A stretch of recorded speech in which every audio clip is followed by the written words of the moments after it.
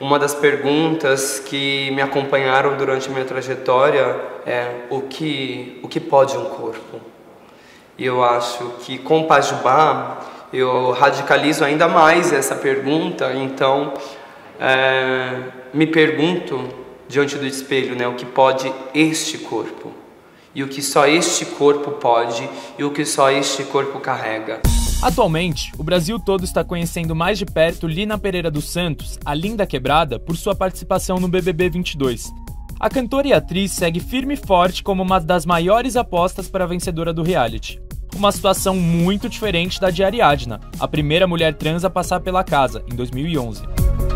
Além de ser eliminada no primeiro paredão, Ariadna foi recebida aqui fora com uma enxurrada de piadas transfóbicas que muito raramente eram questionadas na época. A diferença entre esses dois casos denota que nesses 11 anos o debate sobre a questão trans se desenvolveu, porém definitivamente não o bastante. Em estatísticas recentes levantadas pelo órgão mundial Trans Respect e confirmadas pela Associação Nacional de Travestis e Transsexuais do Brasil, o nosso país é o que mais mata pessoas trans no mundo. Em 2017, em seu disco de estreia, Pajubá, através de sua poesia visceral, Lina escancarou essa questão da luta pela sobrevivência das vidas trans.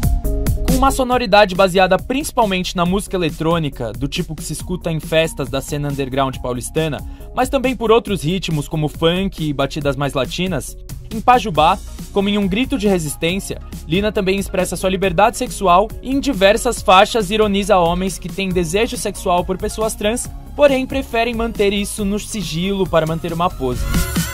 Além de todas as faixas de Pajubá contarem com visualizers, no mesmo ano do disco, Lina participou do documentário Meu Corpo é Político.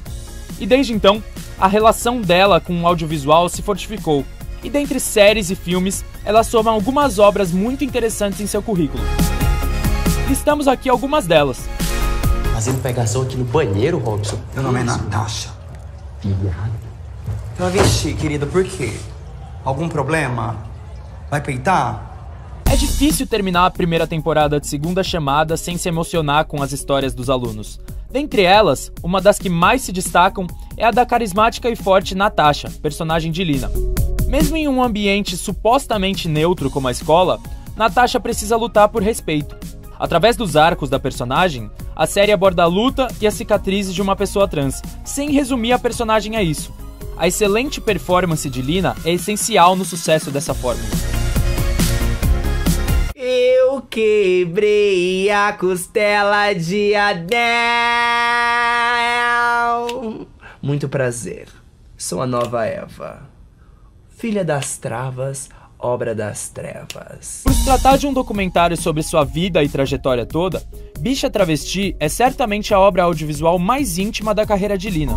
De uma forma crua e inevitavelmente comovente, Lina mostra sua vida, carreira, batalhas pessoais e o apoio de amigas como Lineker e Jupe do Bairro. A amizade que algum tempo depois foi retratada na ficção Manhãs de Setembro, série onde as três participam. Na minha opinião, o Ivaldo gostava assim da Cassandra. Pode até ser. Muitas vezes eles gostam mesmo.